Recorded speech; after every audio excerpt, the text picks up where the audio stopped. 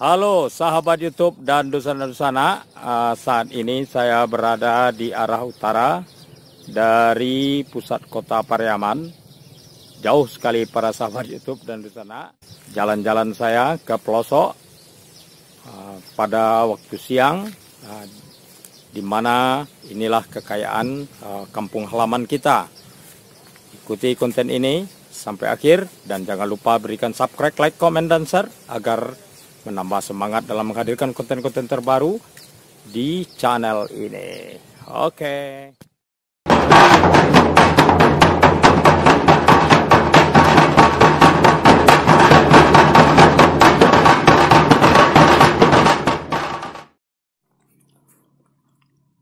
Siang ini uh, saya berkesempatan uh, menelusuri sebahagian dari wilayah Gasan Kete.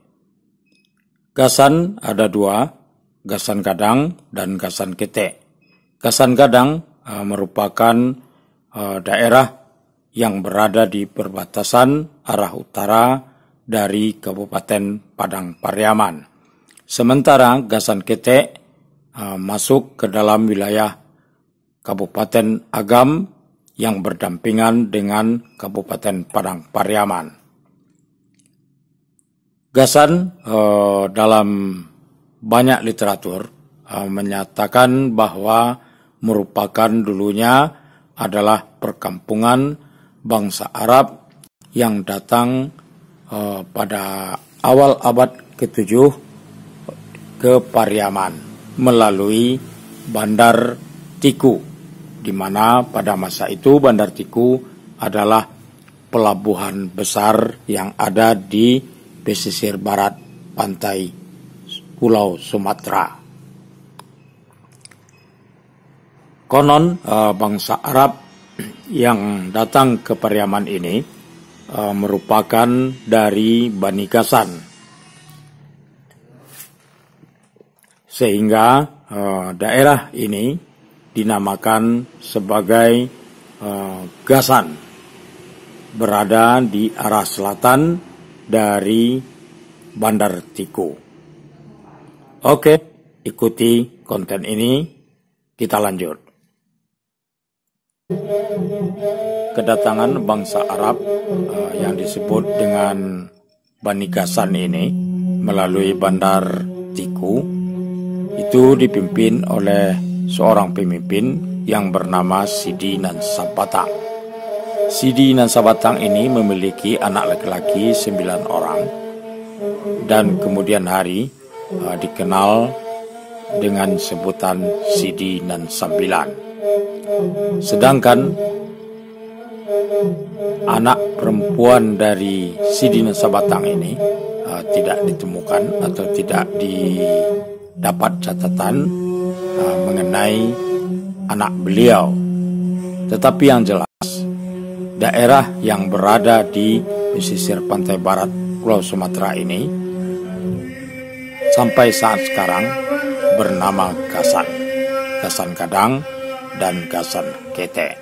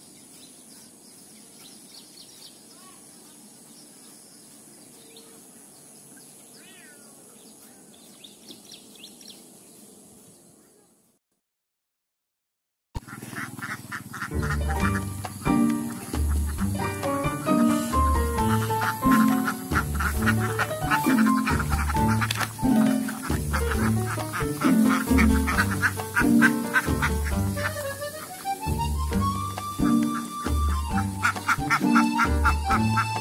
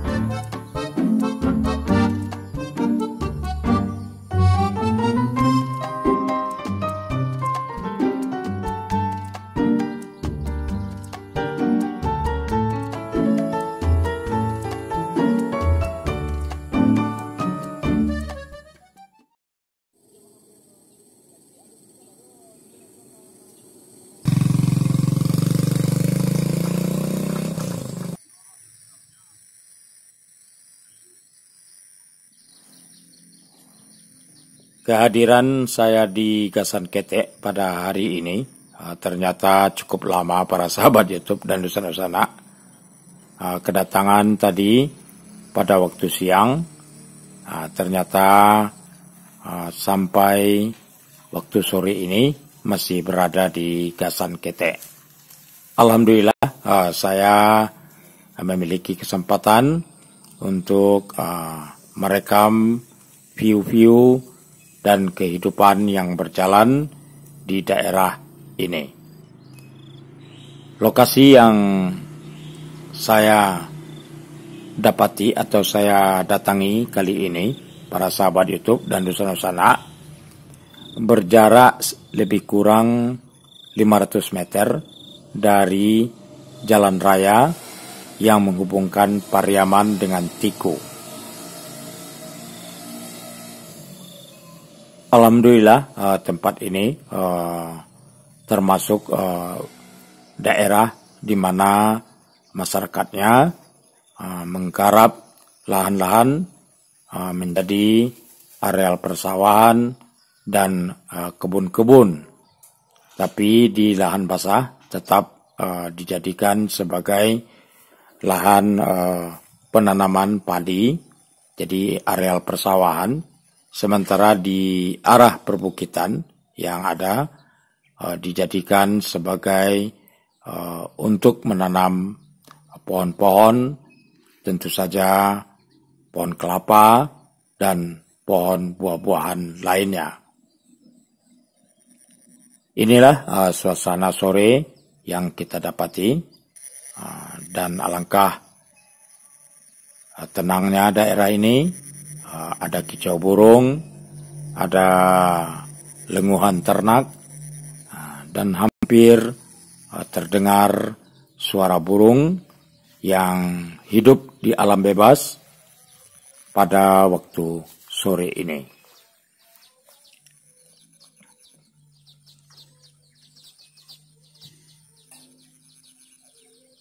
Di bagian akhir ini memang tidak saya tambahkan background musik para sahabat YouTube dan dusun-dusana karena ingin uh, menampilkan uh, suasana asli dari atmosfer yang ada pada sore hari ini di mana saya berada uh, di antara persawahan yang sedang akan segera dipanen. Jadi menunggu waktu di mana padi ini benar-benar matang untuk uh, kemudian dipanen.